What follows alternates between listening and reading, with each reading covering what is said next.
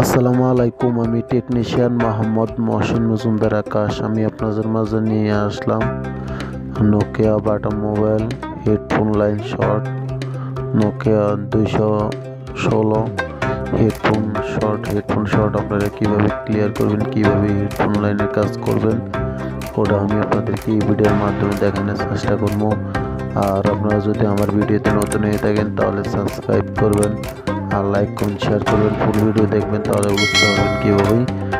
Nokia দুইশো ষোলো headphone line short remove করতে হয়। কীভাবে হেডফোন লাইনের প্রবলেম ক্লিয়ার করতে হয়, ওটা আমি আপনাদেরকে এই ভিডিওর মাধ্যমে দেখানোর চেষ্টা করব। আপনারা ফুল ভিডিও দেখবেন, তাহলে বুঝতে পারবেন। ফুল ভিডিও দেখতে থাকুন।